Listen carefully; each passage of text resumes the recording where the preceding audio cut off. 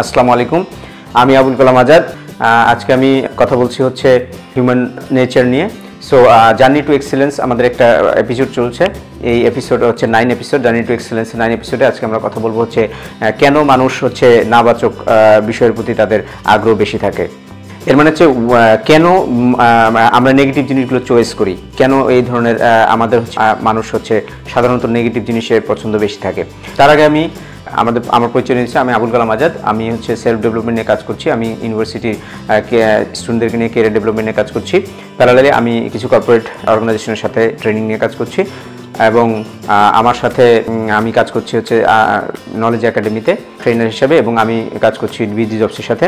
So আজকে আমি যে বিষয়গুলো নিয়ে আলোচনা করব সেটা খুবই গুরুত্বপূর্ণ একটা বিষয়, সে হচ্ছে কীভাবে কেন হচ্ছে মানুষ নেগেটিভ বিষয়ের প্রতি ট্রেন্ড হয়ে গেল এবং এখান থেকে আসলে বের হয়ে আসার উপায় কী? সো আপনারা জানেন যে এটা আমরা আসলে কেউ জানি না যে কেন হচ্ছে আমাদের মানে আনন্দ থেকে দুঃখ, ভারাক্রান্ত গান শুনতে ভালো লাগে কেন আমাদের হচ্ছে আমরা বেশি বেশি হচ্ছে ব্যাড নিউজ নেগেটিভ নিউজ আমরা বেশি দেখি আমাদের দেখতে ভালো লাগে।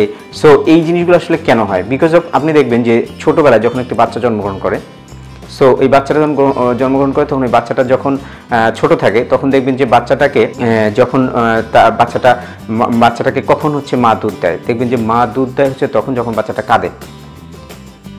আপনি একটু খেয়াল করে দেখবেন, বাচ্চা যখন কাঁদে তখন মা তাকে দুধ দেয়। আপনি খেয়াল করে দেখেন ছোট বাচ্চাগুলো যখন হচ্ছে বাবা তাকে কোলে নেয় কখন? যখন ওই বাচ্চাটা কাঁদে।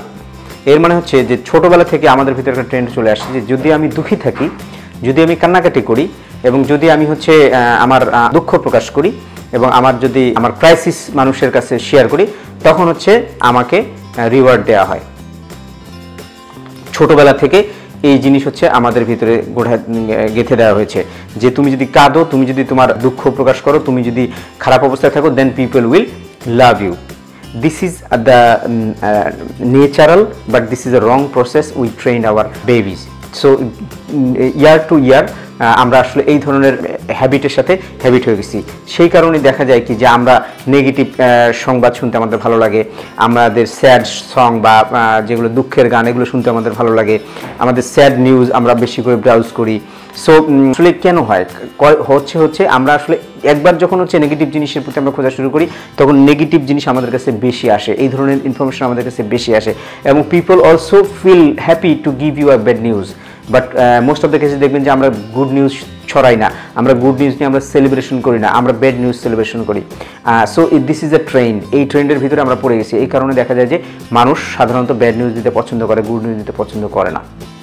তাদের ধারণা হচ্ছে যে গুড নিউজ দিলে সম্ভবত এটা তার জন্য ক্ষতিকর হবে। এটা আসলে ভুল জিনিস। যত বেশি আপনি গুড নিউজ ছড়াবেন, তত বেশি হচ্ছে মানুষের মধ্যে ভালো ফিলিং হবে এবং ফিউচারে আপনার এই এই গুড জিনিস আপনার দিকে অ্যাট্রাক্ট করবে। সো আমরা আমি আমি যদি এখন আপনাকে বলি যে আমরা আসলে ছোটবেলা থেকে এই জিনিসগুলো করে আসছি, অর্থাৎ আপনি যখন বাচ্চার কাছে যান, তখন দেখবেন যে বাচ্চাদেরকে আমরা কি বলি? আমরা বলি যে, বাইরে যাইও না।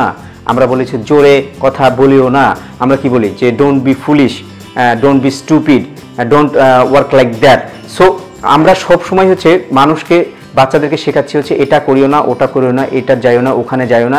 এই নাবাচক শব্দ বলছে বাট আমাদের ব্রেন কিন্তু ছবি নেয়, সে কিন্তু নাবাচক শব্দটা নিতে পারে না। আপনি যদি, আপনাকে যদি আমি এখন বলি যে আপনারা যারা আছেন, আপনারা কেউ হচ্ছে কালো হাতির ব্যাপারে চিন্তা করবেন না। আপনারা দেখবেন যে আপনাদের অনেকের ভিতরে কিন্তু কালো হাতির ছবি চলে আসছে। বা আমি যদি বলি যে আপনি আপনার মায়ের ছবি দেখবেন না আপনি দেখবেন আপনার মায়ের ছবি আপনার চোখের সামনে ভাসছে। সো হিউম্যান মাইন্ড মানুষের মনই হচ্ছে সে ছবিতে নিয়ে খেলা করে। তার ছবি নিয়ে সে রিড করে, ছবি নিয়ে সে প্রিজার্ভ করে। সে কিন্তু না শব্দটা কিন্তু সে পিক করে না। ঠিক সেরকম আমরা বাচ্চাদেরকে যখন শেখাচ্ছি যে তুমি বাইরে যাই না, তখন সে বাইরের ছবি দেখতেছে। যখন আমরা বলি যে তুমি স্টুপিড হয়ে না সে কিন্তু স্টুপিড দেখতেছে। যখন আমরা বলি যে don't work like a fool তখন সে নিজেকে ফুল ভাবতেছে। সো দিজ আর থিংস যে কীভাবে আমরা তাদের ভিতরে খারাপ ছবিগুলো ইমেজ তৈরি করে দিছি। বাট আমরা কি কখনো তাদেরকে বলছি যে ভালো ছবিগুলো কি? How to how to work like smart how to what he will do সে কি করবে তার কি করা উচিত, এগুলো নিয়ে কিন্তু আমরা কথা বলি না। আমরা বলি যে এটা করিও না, ওটা করিও না। So we have a trend in our society to telling negative things R making negative image to the people's mind ছোটবেলা থেকে আমাদের ভিতরে এই জিনিসগুলো করা হয়েছে। সো আমরা কিন্তু রাস্তা দেখাচ্ছি না। আমরা কিন্তু রাস্তা দেখাচ্ছি না। আমরা উল্টা রাস্তাগুলো ব্লক করে দিচ্ছি বাচ্চাদের। সো এই কারণেই দেখা যাচ্ছে যে ছোটবেলা থেকে আমাদের ভিতরে নেগেটিভ জিনিসের ট্রেন চলে আসছে। তো এখান থেকে বের হওয়ার উপায় হচ্ছে যে আমাদের ভিতরে কিছু প্রোগ্রামিং হয়ে গেছে। এই প্রোগ্রামিংগুলো থেকে আমাদের বের হয়ে আসার জন্য আমাদের পজিটিভ থিঙ্কিং করতে হবে। পজিটিভ থিঙ্কিং করার জন্য আমরা অ্যাফার্মেশন করতে পারি। আমরা সকালে ঘুম থেকে ওঠার পরে এবং ঘুমাতে যাওয়ার আগে রাতে আমরা অ্যাফার্মেশন করতে পারি। পজিটিভ অ্যাফার্মেশন ইন্টারনেটে পাওয়া যায়। আপনারা আমাদের এখানেও লিঙ্কে গেলে হয়তো বা পজিটিভ অ্যাফার্মেশন পাবেন। এগুলো দিয়ে আপনারা হচ্ছে, আপনাদের ভিতরে যে নেগেটিভিটি আছে সেটা আপনারা দূর করতে পারবেন। তো যাদের এই ভিডিওটি ভালো লাগছে, তারা অবশ্যই ভিডিওটি শেয়ার করবেন এবং যারা হচ্ছে আমাদের চ্যানেলটিতে এখনও সাবস্ক্রাইব করেনি তারা আশা করি চ্যানেলটি সাবস্ক্রাইব করবেন এবং ভিডিওটি আপনাদের বন্ধু বান্ধবের মাঝে শেয়ার করবেন। সবাইকে ধন্যবাদ ভিডিওগুলো দেখার জন্য এবং আমাদের সাথে থাকার জন্য। আসসালামু আলাইকুম।